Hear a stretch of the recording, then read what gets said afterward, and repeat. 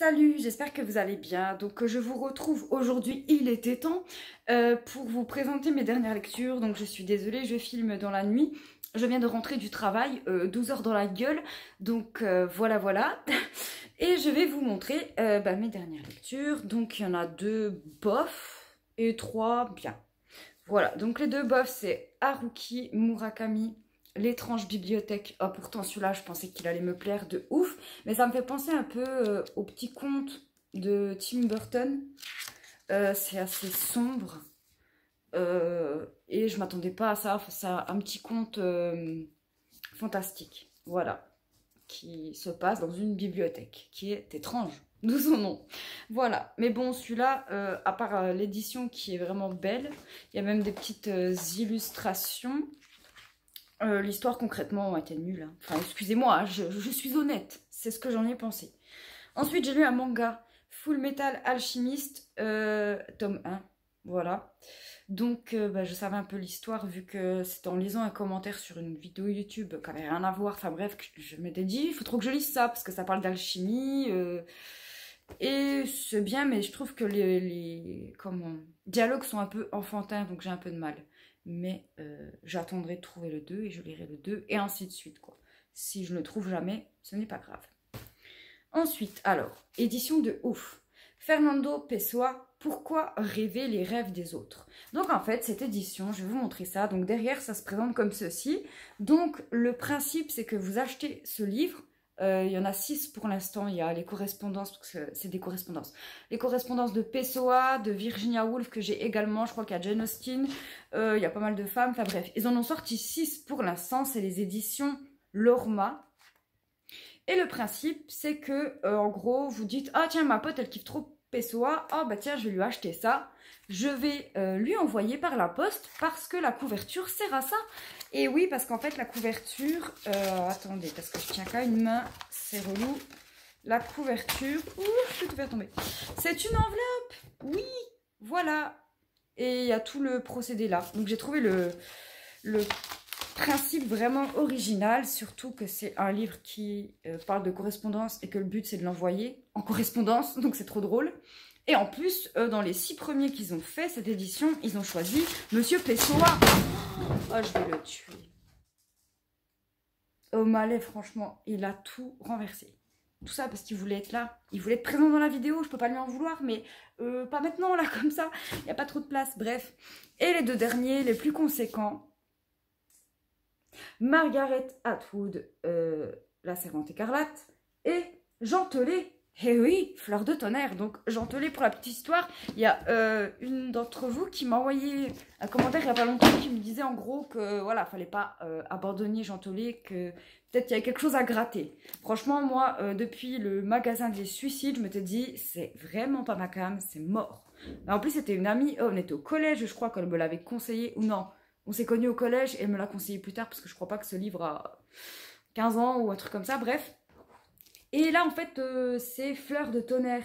Et Fleur de tonnerre, c'est une vraie histoire. C'est la première tueuse en série française, euh, Hélène Delgado. Je crois que c'est ça son nom. Non, Gado. Pourquoi Delgado?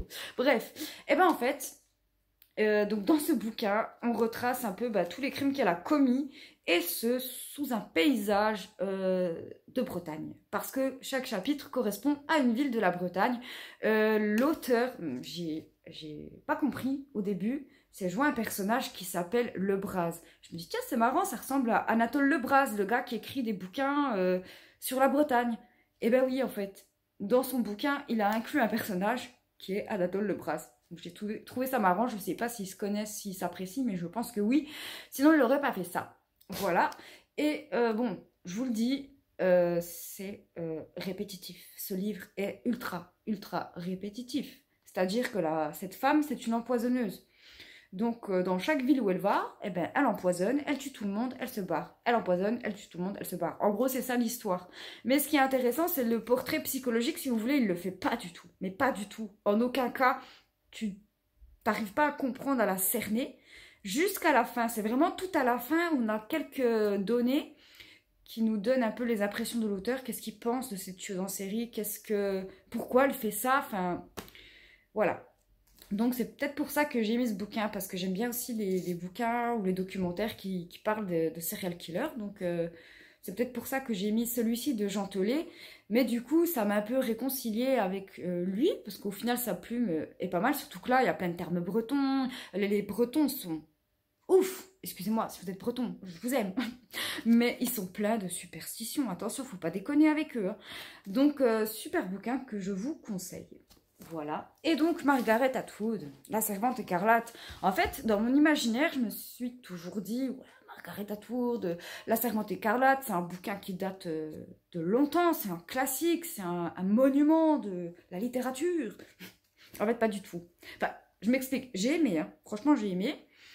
Mais je m'attendais à un truc de ouf. Et au final, c'est un truc euh, bien, mais pas sensationnel. Enfin, genre, il fera jamais partie de mes top 10 de, livres tous les temps, ou de top 100. Je pense même pas qu'il fera partie de top 100. Donc, c'est une dystopie. Euh, qu'est-ce qu'on peut dire? En gros, c'est un, peu une genre de secte qui a pris le pouvoir dans le pays. Et en fait, il y a plein de femmes, euh, elles veulent plus faire d'enfants. Du coup, ils se disent, ben, c'est pas grave, on va prendre euh, les autres femmes, on va les transformer en esclaves pour les couples. Comme ça, ben, ce sera elle qui portera l'enfant. Enfin, c'est toute une histoire assez bizarre. Franchement, je vous le dis, l'environnement, tout ça, c'est un peu flou. Et pareil, c'est vraiment à partir de la ouais, fin 290, début 300, la page, qu'on euh, qu'on a assez d'informations pour vraiment contact contextualiser l'environnement. C'est pour ça que je me suis dit, en fait, je, l'ai bien aimé, mais sans plus, mais je pense que la série, je vais trop la kiffer. Parce que là, c'est ce qui me manquait. J'arrivais pas à assembler toutes les infos parce que les infos qu'on aurait dû avoir à un moment, on les a pas forcément à ce moment-là. Du coup, on peut pas imaginer le truc globalement. À chaque fois, on nous rajoute des petites infos.